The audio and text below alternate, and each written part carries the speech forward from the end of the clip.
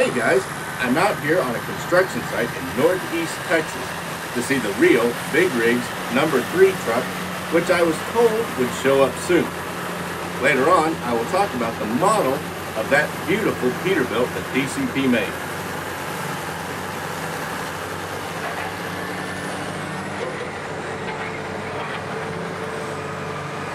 Before we get into it, please become one of my 64th Gear Jammers by subscribing to my channel for more great diecast and resin model reviews and grab my free report on tips for valuing your collection with the link in the description below. The Hammett family operates Hammett Excavation, based out of Dodd City, Texas. Hammett Excavation has been in operation since 1963, specializing in landfill work, new construction sites, mining, and subdivisions. Risking everything, Harry Hammett started the company back in 1963 with an old B-model Mack truck, a Cat D7 bulldozer, and a short tandem axle lowboy, which he used to haul his D7 around from job to job. For the next 24 years, Harry Hammett did all sorts of work. Back then, he had a saying that never a job too small, and not a job too big. So Harry, he cleared brush and timber from construction sites, dug ponds, graded house pads, did any and all kinds of excavation work. He followed an old axiom, an honest day's work for an honest day's pay. With that motto, the family business started to grow. In 1987, Harry's son joined the company, and then more growth occurred for him. So Harry had to add another Cat D7 dozer to keep up. But growth didn't stop there. It kept coming. In fact, it grew so well that by the 2000s, the company had 30 employees and more equipment, including track more bulldozers, tractors, scrapers, a few off-road dump trucks, and other equipment necessary to run a successful excavation company. As their old B model Mack was wearing out, Harry and his son had acquired a 1985 R model Mack to move the equipment around.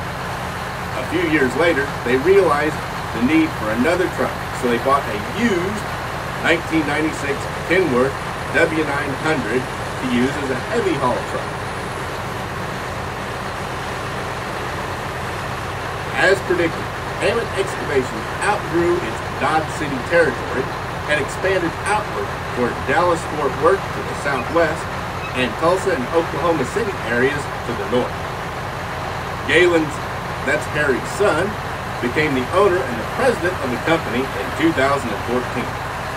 After Galen took over the company, he remembered his father's slogan, never a job too small and not a job too big, and he ran the company by it. He expanded the operation into earthwork for landfill projects, site preparation for large subdivisions, building new roads, and GPS finished grading. Hammett Excavating does about everything. Galen's son Caleb, he grew up around trucks and equipment and decided to join the family business. And he began working full time. Well, that figures just when I was about to talk about the truck, he pulls off. I hope Caleb comes back so I can show off the beautiful interior. The company needed another heavy haul truck, so Galen and Caleb decided to build a truck to honor Harry. Remembering what Harry always said, you need to have a dressed up truck to move your equipment around, and you need to look professional. That gave them the idea to build that fancy show truck. Jake Lindemuth in Irving, Texas, known for building custom show trucks, was asked if he and his crew would be willing to build something special for Hammett. yes was the answer. So Galen ordered a 2017 Peterbilt 389 glider kit with a double frame and a pusher axle in the fall of 2016. The charcoal metallic gray rig with a Viper red frame was sent to the boys over at Lindemuth. The rebuild of the Pete 389 was completed in 2017 just in time for the Great American Trucking Show in Dallas, Texas, where it won Best Interior, Best Paint, and First Place in Class. Since the show, the truck has been used as a regular working truck, moving the Hammett Company equipment from site to site. Now, guys, let's go on and talk about the model of that beautiful truck that DCP made. And this, guys, is the Peterbilt 389 triaxle with heavy floats on the front and triaxle uh, magnitude lowboy by Fontaine. It is in the Hammett excavation colors and it is their show truck. Now I'm starting off with it out of the box this time instead of in the box. So we'll go on and talk about the vehicle and then I'll put it back in the box at the end. And you can see what it looks like all packaged up. It is Big Rigs Series number 3. Now let's go on and start off with the trailer. I haven't talked about a magnitude uh, low boy yet. And there it is. It's in a body matched gray to go with the tractor. It's a Fontaine magnitude. It has the Hammett excavating logos on the, on it. It has its DOT striping. It has simulated wood plank for that decking, and it does have its little outriggers. And you can see that they do come out. Unfortunately, they just kind of flop in the breeze, so it's not the best design that ever was, but each one of them does come out. And be careful with them because they will actually pop out. It rides on 10 hole chrome wheels with a slightly lower profile tire, which is more traditional for a low boy. Individual suspension on each axle. It has uh, reflector mark reflectors and marker lights there and up in the front. We turn it up, you can see the workings, which runs the hydraulics to raise and lower the trailer when they go to unhook it. Also, the gooseneck does come off. It just push right in there and it pops right off and then it hangs on two hooks on that rod. You can see the hooks right there. Really simple, easy mechanism. However, be careful with them because it is kind of loose and it will just pop off on its own. So be careful holding these trailers. It has the loops so you could put on either their stinger or a flip axle to make this a four axle if you want. It has all the warning tampos that are supposed to be there and up on the gooseneck.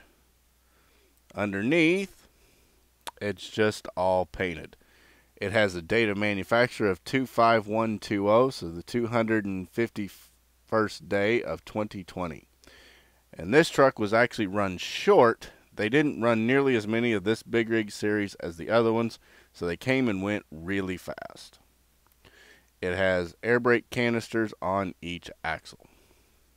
Around to the back, and you can see it has the brake lights, which are red, the turn signals, which are amber, and they also, on the real one, would flash as warning lights. And you can see the three um, clearance lights back there.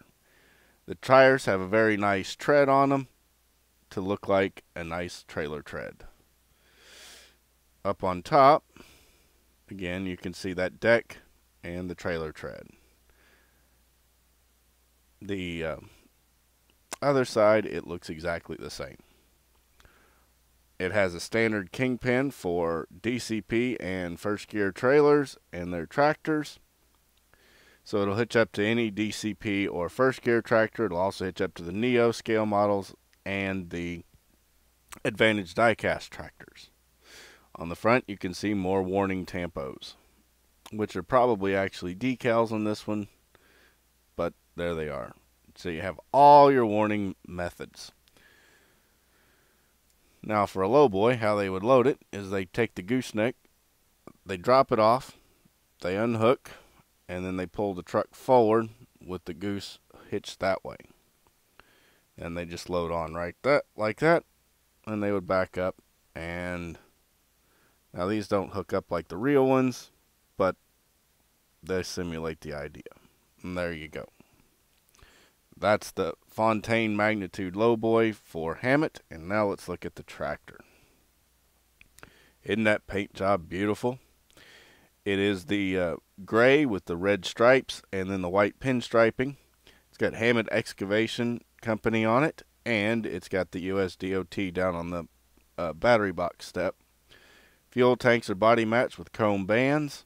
They put a little red trim on the triple hump fenders, 10 hole chrome wheels on the rear with duals, and 10 hole chrome floats on the front, the extra wides has chrome straight stacks with the 45 degree miter on the top and it has chrome mirrors.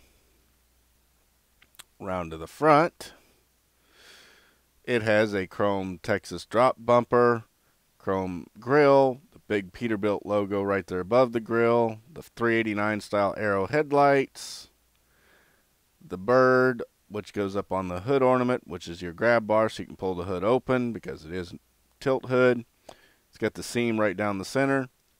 This truck has a white, well, it's a really light gray, almost white interior, which isn't right for the truck, but that's what they put in it.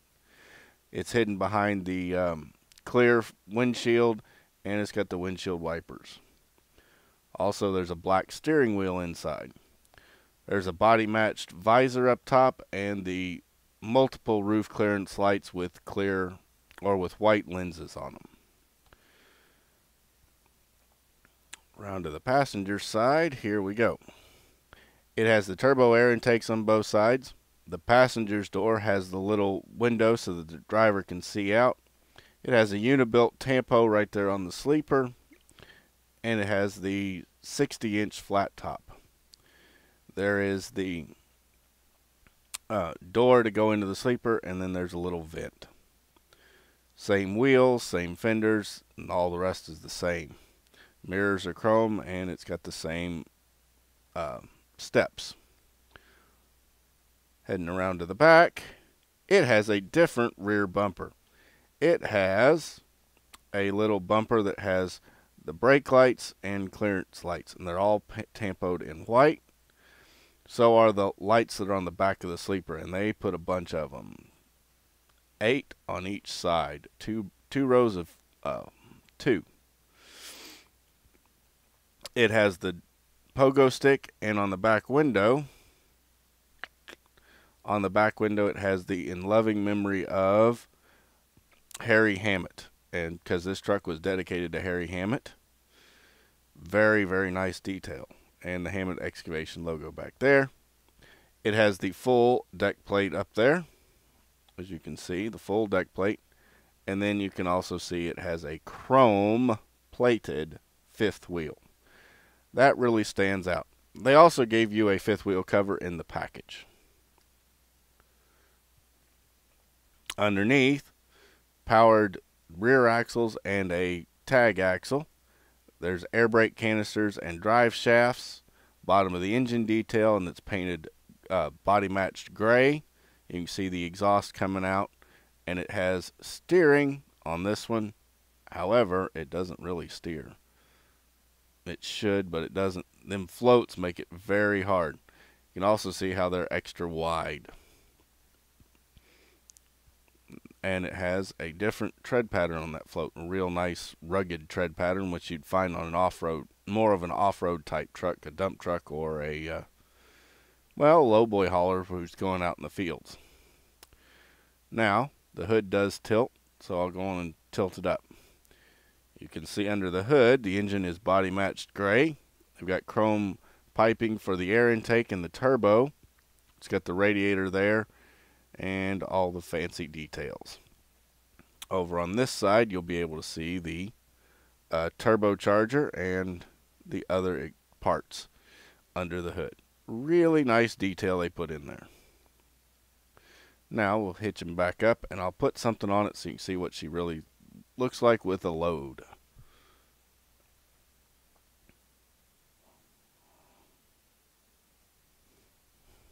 And what I've got to put on here is a first gear Komatsu Traco, the PC210 LC Traco. Show you exactly what it looks like with a really nice piece of equipment sitting on there.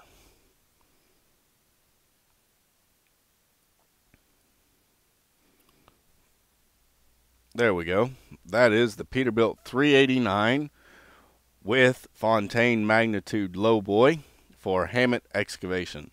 Their custom show truck hauling a Komatsu PC210LC excavator. It is in First Gear's Big Rig series and it is number three. Now I'll go on and put it back in the box so that you can see what it looks like in the box.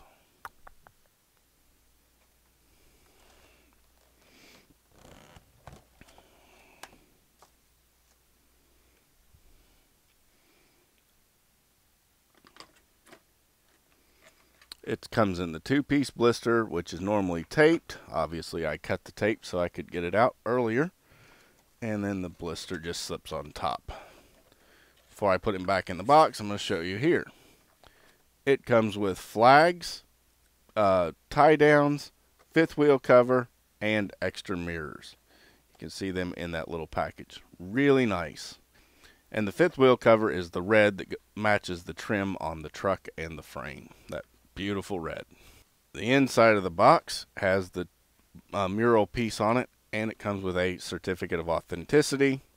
It's got Adam Knight's signature and Caleb Hammett, the transportation manager at Hammett Excavation signature. Certifies that this was a 750 piece run. Also, there's some instructions in there to go with the lowboy and how to operate it and tie things down. And being able to put these guys back in their box is why you should always keep the box. That way you can move them uh, safely, or if you want to sell them, you can sell them easily. And there it is in the box. Real drivers, big rigs, show trucks. Ages 14 and up.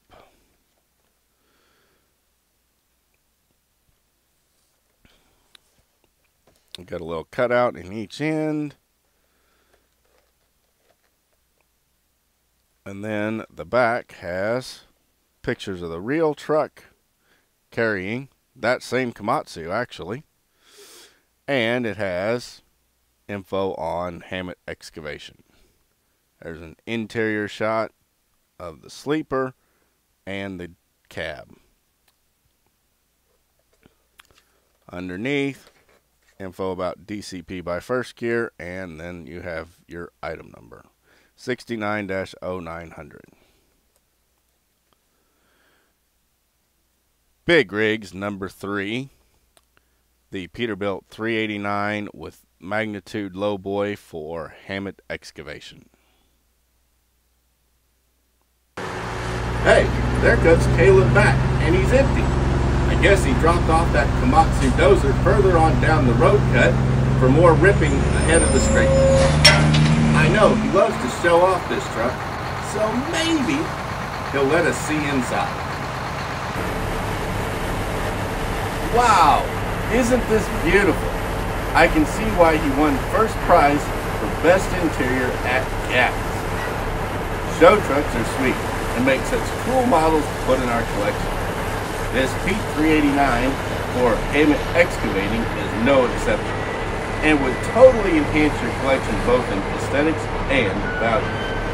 For more info on how you can add items to your collection that are going to add future value, please grab my report on tips for valuing your collection with the link in the description below. Also, don't forget to hit that thumbs up button and subscribe to my channel. Thanks for watching everyone. I'm Logan Skeele, the founder of Advantage Diecast and I'll be back in the Southside warehouse soon with another episode of Toy Talk.